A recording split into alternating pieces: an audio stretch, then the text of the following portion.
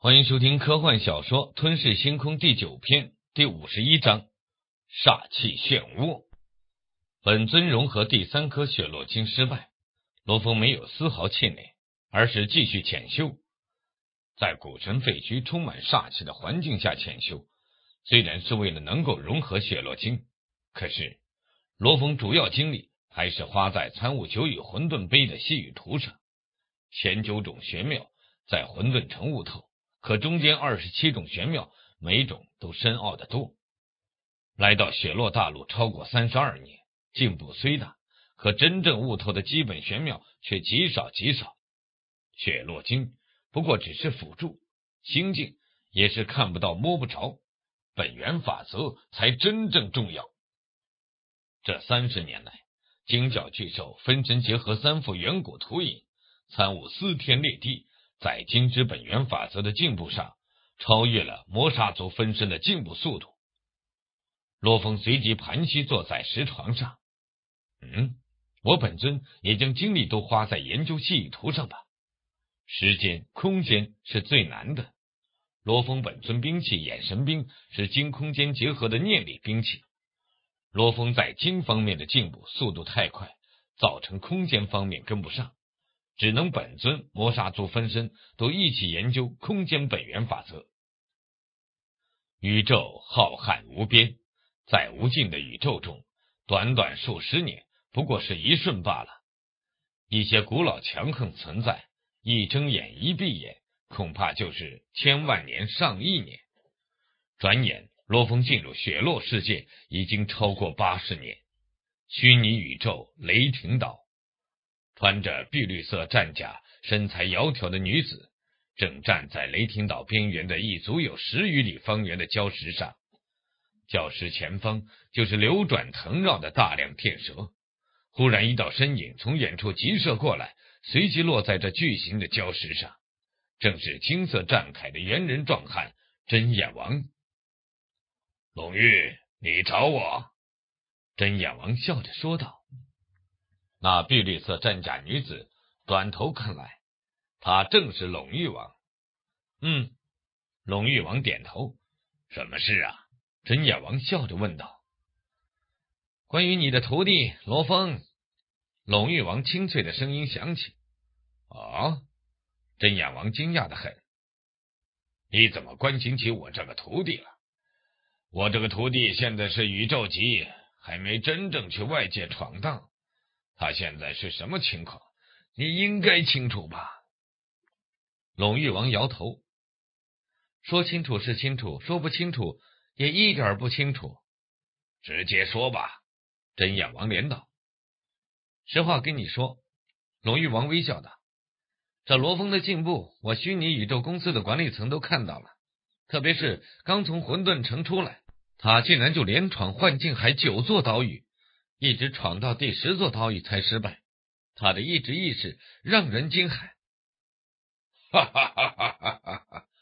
真眼王得意一笑：“我这徒弟虽然仅仅是宇宙级灵魂，没有真正的跌迁蜕变成为不朽，可是单单论意志，恐怕得到的本质跃迁的不朽们，很多都不如我的徒弟呀。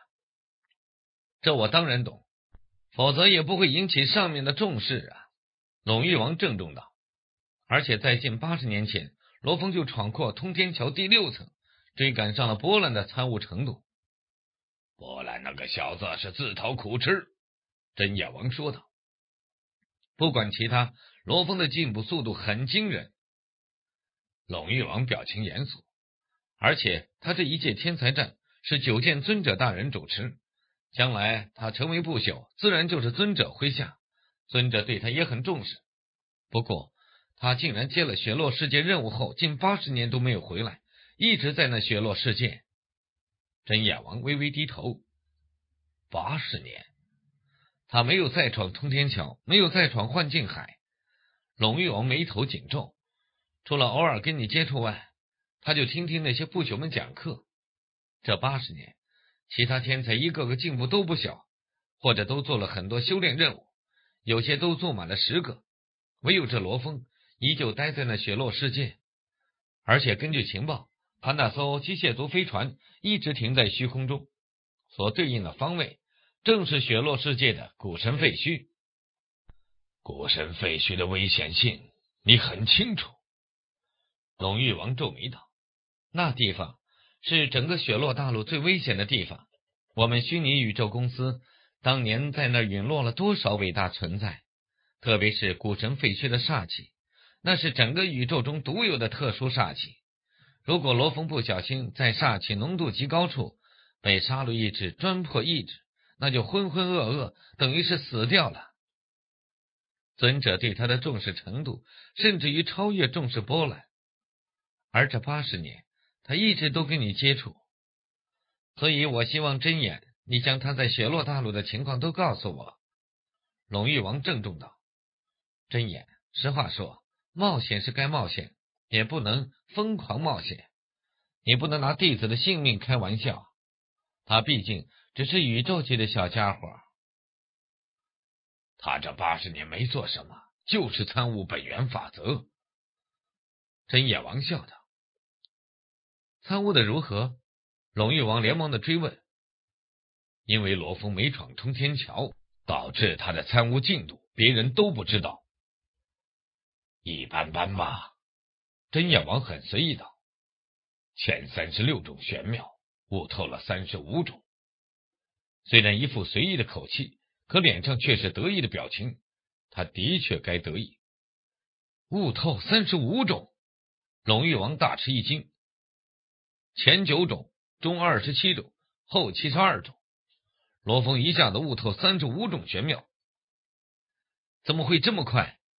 龙玉王连忙盯着真眼王，不可能，在混沌城三十年，他不过悟透最浅显的九种。在外界参悟速度应该比混沌城慢十倍，可现在看来，在外界他平均每三年就悟透一种玄妙，而且比前九种更深奥的。一，他有我指点；二，还有时空随笔借鉴参悟；三，他融合了雪落经，参悟速度提高。真眼王笑着看着龙玉王，而且他的确是个天才。他的悟性随着他的实力提高，越加的夸张啊！雪落大陆古神废墟巨坑中，巨坑之府，盘膝静坐在石床上，一身青铜战衣的罗峰睁开眼。八十年了，来到这雪落大陆足足八十年了。那煞气对身体的改造，随着时间推移的效果越来越小，不过至少还在提升。可离融合第三颗雪落晶总差一点，可这八十年，我感悟空间法则进步却很大。罗峰感叹：悟透三十五种玄妙，自己一开始都没敢想象过这么夸张。混沌城三十年，对应元宇宙一百年，在混沌城三十年，仅仅悟透九种玄妙，可在元宇宙八十年多点竟然悟透另外二十六种更深奥的玄妙。这种进步速度的确不可思议，有时空随笔的缘故，有真眼王指点的缘故，也有金角巨兽驱动神奇之力，增强近九倍，与众契合后感悟空间法则的缘故。是的，到了后期，连金角巨兽分身都参悟空间法则了。这是因为在修炼司天裂地、参悟那远古图影时。在修炼到第三十九年时，金角巨兽分身感悟到，那怪兽施展出的一爪，不单单是蕴含金之本源法则，同时也蕴含了空间法则。到了这一步，为了研究出真正的绝招司天翼爪，金角巨兽分身其实是研究远古图影为主，司天裂地秘法反而为辅了。因为那三幅远古图影，每一幅都深奥不可测。就是因为那一爪也蕴含着空间本源法则，所以金角巨兽也开始参悟空间本源法则了。三大身体同时参悟，各种感悟相互对照，特别在远古图影上收获良多，令罗峰的感悟跨入一个快通道。而且，罗峰也发现心境魔力的提升，心灵的一种清澈明净。也使得自己在参悟法则时，令迅速捕捉到每一道在脑海中一闪而逝的灵光。从一定程度上讲，算是悟性的一种提高。估计再过几年，我就悟透第三十六种玄妙。罗峰脸上有着一丝期待。司天一爪，准确说，我进步这么快，跟远古图影关联最大。罗峰心中好奇，那简单的踢爪挥拍，竟那般深不可测、不可思议。人的身体去研究那一爪没有什么用，可金角巨兽在司天裂地辅助上研究这一踢爪时，特别看那远古图影。觉得那一踢爪包容万象，深不可测。越参悟，越觉得自己所悟的还很浅薄。那怪兽到底是什么实力？罗峰心中浮过这个念头，随即不再多想，直接朝洞外走去。沿着洞口通道，很快走到山壁边缘，遥看前方无尽的红色煞气滚滚。半年前我去尝试闯煞气漩涡，在九点五倍的煞气浓度。距离漩涡核心不足百米处，最终停下。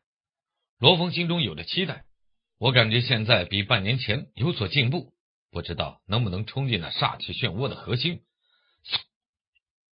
罗峰直接俯冲而下，朝那无尽深渊的煞气中飞去。煞气漩涡，这些年参悟之余，罗峰经常会去尝试闯闯，不过每次都不敢冒险，因为罗峰清楚冒险的代价。很可能是变成疯魔，生不如死。片刻，罗峰便已经来到那庞大的漩涡内，呼噜噜噜噜噜噜噜，犹如鲜血一般的巨型漩涡在不停的旋转着，引动遥远处的煞气滚动。而漩涡核心则是如一颗红色太阳，而穿着青铜战甲的罗峰正一步步步入漩涡的深处，不断的朝那漩涡核心靠拢。真的很好奇。这漩涡核心到底有什么？罗峰抵抗着那越来越强的杀戮意志清晰，不断靠拢那颗耀眼的红色太阳。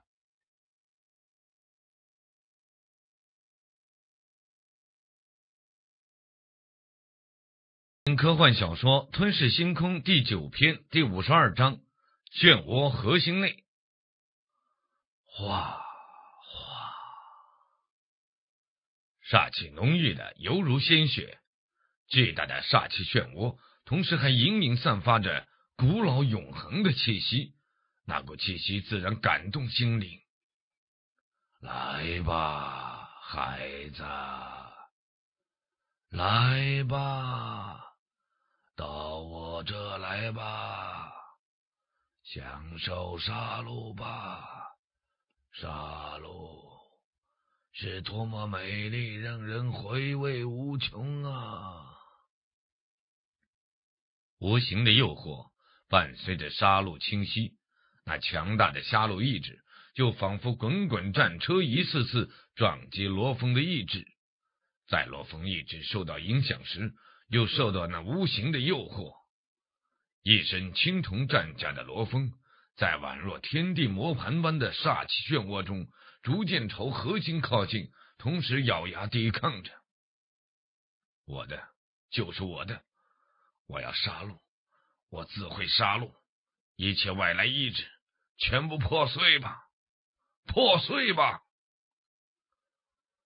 罗峰意志坚定的可怕，一次次抵挡住那些清晰诱惑，根本不受一丝侵染，渐渐的靠近漩涡核心。那杀戮意志和诱惑也越来越强，飞行靠近那颗宛若太阳般的红色球体的罗峰。也更加谨慎，距离还有五十米、四十米、三十米、二十米、十米，红色球体就在眼前，它就是这巨大煞气漩涡的核心。轰隆隆，一股古老无形的气息弥漫，令罗峰有一种蚂蚁面对天地神龙的感觉。我就算是蚂蚁，也是能击中。击杀神龙的蚂蚁，罗峰瞬间摒弃心灵中自然而然升起的那股敬畏，同时一步就跨入那耀眼的、散发红色光芒。那形成的煞气漩涡，比整个地球都大得多的红色光球内，整个煞气漩涡核心区域恢复平静，再也看不到那青铜人影了。煞气漩涡的核心，红色光球中，罗峰缓缓飞行前进，却感觉杀戮意志竟然在减弱，似乎是在靠近光球时，杀戮意志最强；进入光球内后，反而杀戮意志不断的衰弱，以比普通人走路还要慢的速度缓缓飞行，飞行了约有三十米，眼前所看到的依旧是浓郁的红色。噗！罗峰整个人穿破红色光球的外层，便看到眼前的一幕。阿莫达，直接穿透人心灵的声音，在罗峰意识中不断响起，没有任何规律的古老音符，每一个音符都蕴含着一种至高的、无尽、悠远、古老的气息。同时，罗峰更是震惊的看着眼前的场景。这红色光球的内部是空的，没有丝毫红色煞气，却有着巨大的、足有手臂粗细的一根根金色密纹。每一根金色密纹都无比复杂，一共足有十二根数百米、近千米长的金色密纹，相互纠缠，盘旋在这空间中，一股股让人心悸。让人臣服的气息正从这十二根金色的密纹中散发出来，同时，十二根巨大的金色密纹还散发着金色光线，笼罩着这一片区域。金色光线缓缓流转，令周围仿佛圣境。那流转的金色光线却不断的浮现三幅图影，一图类似巨型蜥蜴的怪兽。昂着尖角再向天际，以无比巨大的手掌从天而降，直接抓向怪兽，令那古老怪兽直接一个飞扑，同时它那长长的尾巴仿佛瞬移消失般，瞬间就抽在那巨大的手掌之上。三幅图影，正是罗峰曾经观看过的三幅远古图影。不过，此刻在这漩涡最核心处。那十二根巨大的金色密纹放射毫光，自然形成的图影却更加的清晰。每一幅图影时而浮现，时而消散。三幅图影在整个空间中，就仿佛飘荡在水面的纸张，不断旋转着，时而沉到水面下，时而浮现，不断的掩饰着。李红。古老原始的，仿佛没有智慧的野兽的声音，似乎穿越亿万年时空，盈盈的在耳边回荡。天哪！罗峰瞪大眼睛，法则密文，这这就是法则密文。从来没有，罗峰从来没有这么清晰的观看过法则密文。不管是在混沌城，还是在念力兵器上的密文，都非常的微小且简单。而眼前的十二根巨大无比的密纹，手臂粗细的密纹，看似简简单单十二根，可每一根密纹都纠缠着针尖粗细的细小密纹。这，这是空间法则密纹，部分的空间法则密纹。罗峰目光炽热，随即又落到那三幅不断浮现、消失的远古图影。不同于之前看到的远古图影那般模糊，这次看的是无比清晰，甚至于那远古怪兽攻击时的意境，都透过那图影让罗峰清晰的感受到。先记下这图影，然后研究法则密文。罗峰开始死死的盯着三幅图影中的司天一爪，堪比光脑的意识运算，令他不断记忆着，记录下每一段视频。这很简单，其实罗峰是需要记一下那股意境，那股蕴含的玄奥莫测的气息，好将来去自己参悟。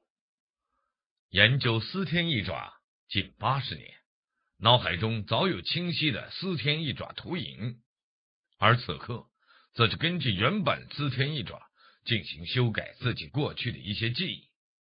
罗峰很清楚，自己还没有成为不朽，在司天一爪水准上，肯定差那位远古怪兽不知道多少倍。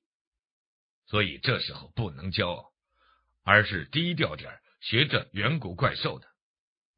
在全身心记录司天一爪远古图影时，罗峰却发现，身体遭到那金色光线照现时，虽然没有煞气侵袭，可身体深处的每一个细胞都在发生着翻天覆地的变化。如果说煞气侵袭下，身体细胞那种改变很轻微、很缓慢，而此刻却是加倍、百倍、千倍。这是罗峰全身心投入记忆司天一爪，至于身体的变化，就算毁掉都是小事，所以罗峰根本懒得分心。记忆司天一爪耗费许久，当罗峰闭上眼，记忆中逐渐浮现那一幅司天一爪远古图影时，罗峰终于闭上眼睛，记忆中清晰浮现那一幅司天一爪远古图影时，罗峰终于暗叹啊。我的感悟还不够高，这应该是我记忆的极限了，无法将那意境气息记忆的更加深刻。随即，罗峰又看向另外两幅远古图影，相比于司天一爪耗费百分之八十的精力，其他两大绝招，罗峰耗费精力小，感悟小，所以全身心去记忆了没多久，就无法再记忆深刻了。记忆中，三幅图影宛若时时刻录。司天一爪意境最是苍茫古老深远，其他两大远古图影也有着那古老苍茫的淡淡气息，却明显好似浅薄不少。主要是罗峰没法记忆更深刻。嗯，总算完全记忆下来了。罗峰露出一丝兴奋。这远古图影。人类是无法参照学习，可对金角巨兽却是益处大的很。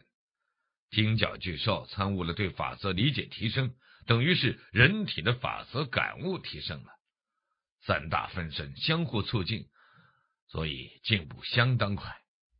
嗯，我的身体，注意力回归的罗峰瞬间发现身体的变化。全身每一个细胞都仿佛沸腾了，在不断的发生着变化。这种变化就跟煞气清晰时身体改造的变化一模一样。罗峰露出一丝金色，随即露出喜色。不过改造速度好像快上千倍啊！在这里一天就能抵得上外界几年的进步速度。罗峰狂喜。当即在这默默悬空而立，随即则是观看那巨大的十二根金色密纹。这十二根巨大金色密纹看似简单，可却比在混沌城讲课的真眼王公开讲课时演练的密纹要复杂深奥的多。罗峰看了许久，只觉得是一头雾水，感觉像空间，又有点金之本源法则的味道。可仔细研究，却什么又都不是。罗峰疑惑万分。